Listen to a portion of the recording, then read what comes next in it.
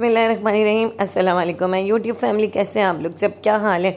उम्मीद है कि आप लोग बहुत अच्छे होंगे, बहुत खुश होंगे। मैं सबीन फरान आप लोगों के लिए बहुत ज़बरदस्त सी रेसिपी लेकर आ रही हूँ स्ट्रॉबेरी मिल्क शेक आए चलें, हम रेसिपी की तरफ़ चलते हैं। और वीडियो को लास्ट तक ज़रूर देखिएगा। अब मैंने छः से सात स्ट्रॉबेरी लिए हैं, एक गिलास के हिसाब से। जैसे आपकी मर्ज़ी है कि आप लोग जितने भी गिलास बनाए उस हिसाब से स्ट्रॉबेरी बढ़ा सकते हैं। जैसे कि मैंने तीन गिलास लिए हैं तो मैंने हर गिलास में छः जो है स्ट्रॉबेरी ली हैं। अब यहाँ पर मैं डाल रही हूँ फाइव टेबल स्पून शुगर अब आप लोग कम या तेज़ कर सकते हैं अपने हिसाब से। जितना आप लोग, अगर आप लोग शुगर तेज़ खाते हैं तो ज़्यादा कर लें, अगर कम खाते हैं तो उसको कम भी कर सकते हैं।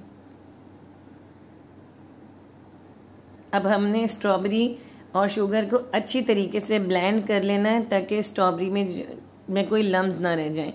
और दो से तीन कतरे मैंने वनीला एसेंस भी डाले हैं। इससे टेस्ट बहुत ज़बरदस्त आता है। अब हम इसमें डालेंगे मिल्क जैसे कि मैंने तीन गिलास बना रही हूँ तो हम तीन गिलास मिल्क ऐड करेंगे इसके अंदर। मिल्क के साथ साथ हम इसमें क्रीम भी ऐड करेंगे थ्री टेबल स्पून ताकि इसका टेक्सचर अच्छा आ जाए।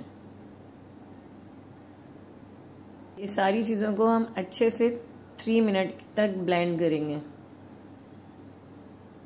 अगर आपने मेरा चैनल अभी तक सब्सक्राइब नहीं किया तो जल्दी से मेरे चैनल को सब्सक्राइब कर दें बेल आइकन पर क्लिक कर दें, ताकि आने वाली वीडियोस की नोटिफिकेशन आपको आसानी से मिल सके। अब देखें, मेरा स्ट्रॉबेरी शेक जो है, तैयार हो चुका है। अब हम जाते हैं डेकोरेशन की तरफ़। अब इसमें मैंने ये रू अफ़ज़ा जो है डेकोरेशन के लिए लगा दिया है। आपकी मर्ज़ी है, आप लगाना चाहें तो लगा सकते हैं। अब मैंने शेक जो है, मिल्क शेक अपना पूरा डाला है ग्लास में और ये स्ट्रॉबेरी लगा दिया ताकि पता चले कि हमने स्ट्रॉबेरी शेक बनाया है।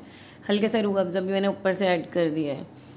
ये देखें, बहुत ज़बरदस्त सा, बहुत अमेजिंग सा ये स्ट्रॉबेरी शेक जो है तैयार है।